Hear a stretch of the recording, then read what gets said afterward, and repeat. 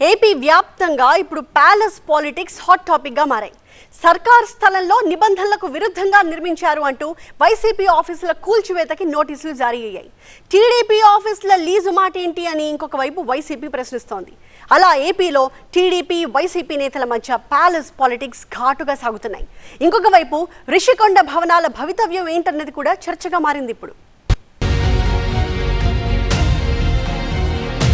కట్టడాలు పడగొట్టడాలు.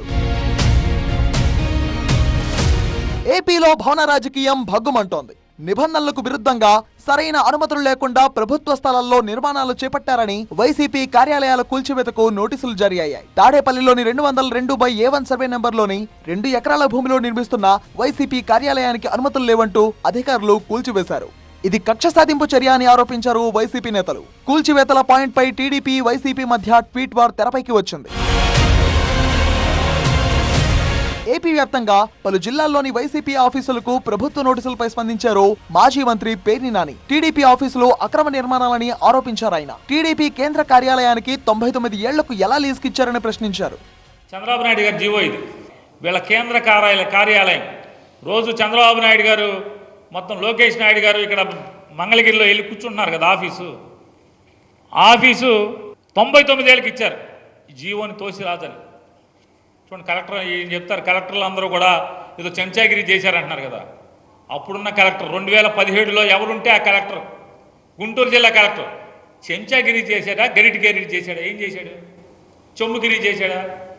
ఏ గిరి చేశాడు? Tadepalli camp office palace అని మాట్లాడతాడు లోకేష్ గారు మాట మాటకి. నేను నారా లోకేష్ నాయుడు గారిని నేను ఒకటి రిక్వెస్ట్ చేస్తున్నా. హైదరాబాద్లో మీ జూబ్లీ హిల్స్ ఫోటోలు ఇంతవరకు ఎవరికన్నా చూపించారా?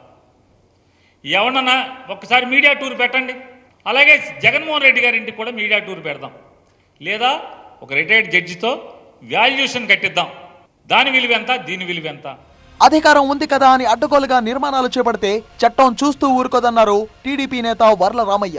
ఇరవై ఆరు జిల్లాల్లో మీ వైసీపీ పార్టీ కార్యాలయాల నిర్మాణం కోసం స్థలాలు ఒక్కొక్క జిల్లాలో రెండు ఎకరాల చొప్పున స్థలాలు మీరు కేటాయించారు. వాటన్నిటికీ మార్కెట్ రేట్ కడితే దాదాపు తొమ్మిది వందల కోట్ల రూపాయలు ఖరీదయ్యే స్థలాలు అవి. కూడా మీరు పర్మిషన్లు తీసుకోలేదు. అంటే మీరు అధికారంలో ఉంటే మీ ఇష్టం వచ్చినట్టు చేసుకో చేసుకోవాలనుకున్నారా? రాష్ట్రం మీ సొంత జాగీరా?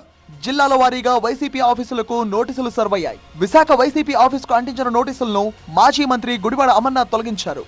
మీరు మీకు అధికారం ఉందని చెప్పి మీకు ఒక సొంత రాజ్యాంగం ఉందని చెప్పి మేము ఎర్ర పుస్తకంలో రాసుకున్నటువంటి అన్ని అమలు చేస్తామని చెప్పి చెప్పి ఈ రకమైనటువంటి చర్యలు వీటికి పాల్పడతామంటే సరే రేపు కూడా మళ్ళీ ప్రజాస్వామ్యంలో ఏది శాశ్వతం కాదు. ఈరోజు బుల్డోజర్ల ప్రభుత్వం మొదటి నుంచి అధికారంలోకి వచ్చినటువంటి రోజు నుంచి గడిచినటువంటి ఇరవై రోజులుగా ఏ రకమైనటువంటి విధ్వంస కాండ ఓవైపు వైసీపీ ఆఫీసులకు నోటీసుల పర్వం మరోవైపు విశాఖ రుచికొండ భవనాలపై కూడా ఇప్పుడు రాజకీయ రచ్చ రాజుకుంది.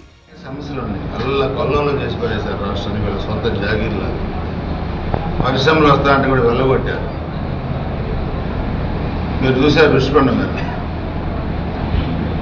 నేషనల్ గ్రీన్ ట్రిబ్యునల్ పర్మిషన్ లేకుండా ఐదు వందల కోట్లు పెట్టి ఒక రాజభవనం కట్టారంటే ఎవడు సొంతం? విలాసవంతమైన భవనాలు కట్టుకొని ఆ బెడ్రూమ్లు బాత్రూమ్లు చూస్తే మీరు ఇతను పేదవాడు. నేను పేదవాడిని. నాకు టీవీ లేదు పేపర్ లేదు.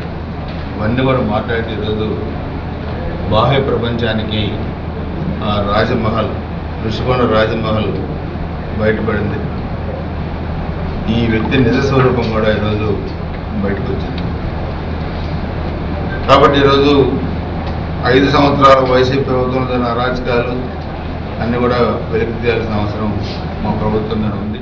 రుషికొండలో పర్యావరణ విధ్వంసంతో పాటు ప్రజాధనం దుర్వినియోగం జరిగిందన్నారు పర్యాటక మంత్రి కందుల దుర్గేష్. రుషికొండ కట్టడాలను ప్రజలకు అంకితం చేస్తామన్నారు. CM Chandrababu deputy CM Pawan Kalyan నిర్ణయం మేరకు తదుపరి చర్యలు ఉంటాయన్నారు కందుల దుర్గేష్. ప్రజలకు ఉపయోగపడేలా ప్రభుత్వం నిర్ణయం తీసుకుంటుందన్నారు. ఇది నిజానికి రుషికొండ మీద ఉన్నటువంటి టూరిజం రిసార్ట్స్ని పడగొట్టి అంత ఆకాశ హరిమ్యాన్ని ఆయన నిర్మించుకున్నాడు ఐదు వందల కోట్ల రూపాయల ఖర్చుతోటి. బాత్ టబ్కే ఎన్నో కోట్ల రూపాయలు ఖర్చు అయిందని చెప్తున్నారు. ఇటువంటి ఒక అనాలోచితమైన నిర్ణయాలు ఏదైతే చేశారో ఆయన అక్కడ ఒక సుందరమైన ప్యాలెస్ని ఏర్పాటు చేసుకోవడానికి వారి కుటుంబానికి అవసరానికి చేసుకున్నట్టు చెప్తే ప్రజల కోసం కాదు. మేము రేపొద్దున్న ఏ కార్యక్రమం అయినా సరే అది ఎంత పెద్ద బిల్డింగ్ అయినా ప్రజోపయోగకరంగా ఉండే విధంగా దాన్ని తయారు చేయడానికే మేము కృషి చేస్తాం. తప్పనిసరిగా దాన్ని ప్రజలకి అంకితం చేసే విధంగానే ప్రభుత్వ నిర్ణయం ఉంటుంది. దీంట్లో ముఖ్యమంత్రి గారు ఉప ముఖ్యమంత్రి గారు ఆలోచించి ఎలా చేద్దామనేటువంటి మాట చెప్తారో దాని ప్రకారం ముందుకెళ్తాం. రిషికొండ భవనాలపై ప్రభుత్వ నిర్ణయం ఎలా ఉండబోతుంది అనే చర్చ జోరందుకుంది. ఇక వైసీపీ కార్యాలయాల కూల్చివేతపై రిట్ పిటిషన్ను విచారించిన ఏపీ హైకోర్టు స్టే విధించింది. ఇక తదుపరి విచారణ అనంతరం కోర్టు ఎలాంటి తీర్పిస్తుంది అన్నది కీలకంగా మారనుంది.